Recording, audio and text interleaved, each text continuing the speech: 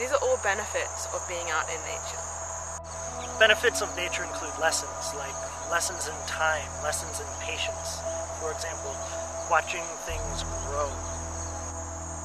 Being out in nature also is a, I think, one of the best privileges of living here on planet Earth is to have the um, senses to witness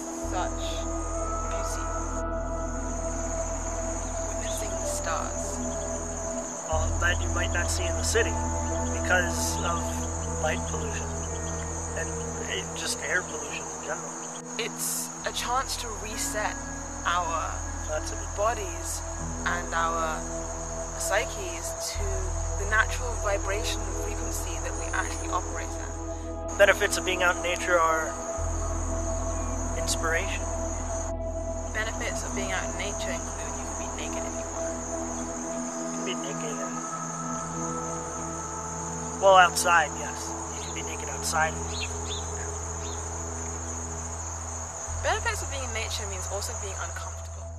Even such some would call mundane things as like a mosquito bite.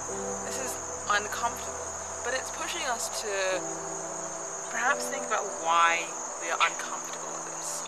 Nature also allows us to appreciate the benefits of our comfortable home in the city or the suburbs. It, it allows us, it gives us perspective, like you said, about some of the things maybe we take for granted.